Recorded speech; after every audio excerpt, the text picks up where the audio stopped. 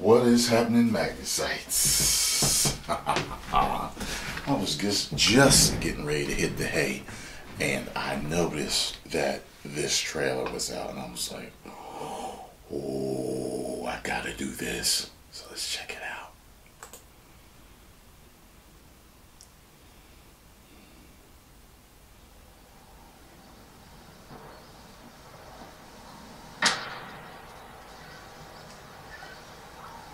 Dang.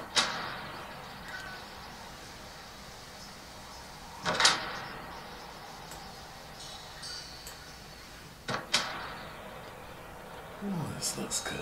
Crisp. Detailed.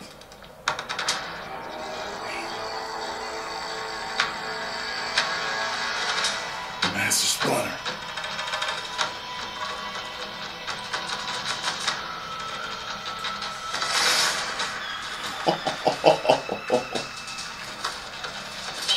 Mouse is flapping.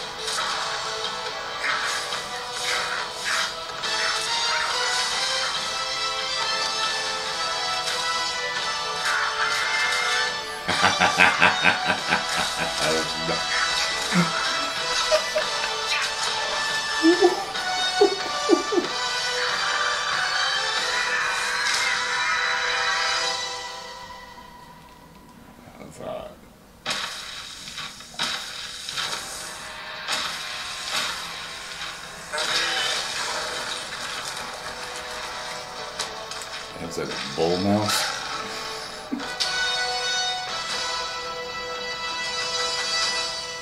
Time to get it on. yeah, I, I knew they wasn't going to show us. I knew they weren't. All right, so here's what I'm thinking, right? Everything looked great, crisp, fluid. But I noticed, see, that was for the cinematic parts. As soon as it switched to the fighting, it got choppy. Got choppy. It looked great, but was also choppy. The graphics were still deep and detailed and rich, but the action looked choppy, which is something that I hope that they fix. Um, they could give us some 60 frames per second, that would be great. But to me, that looked less than 30. You know, I think I'm starting to learn a few things from watching Digital Foundry and other stuff. Maybe they didn't pick the best footage or whatever, but didn't it look choppy to you? Looked choppy to me. It didn't look like, you know, really smooth, fluid gameplay like I'm used to seeing from, um, you know, um, certain games. Now, um, I know what many apologists will say. It's still in development. My thing is, I don't care. Release footage that shows me some some some fluid, finished shit. You got what I'm saying? Listen, I'm already ready to pre-order this. I'm I'm I, I believe that they will fix it, but you know, I got my nitpicks. Gorgeous looking game. Looks like it's gonna be really fun fighting and action. Might be a really cool fucking story. It looks stupendous. Just I want some more uh, action to be more fluid. So anyway, post comments down below. Let me know what you thought. And if you enjoyed my reaction, hit the like button, subscribe, and share. 10 million subscribers. Woo!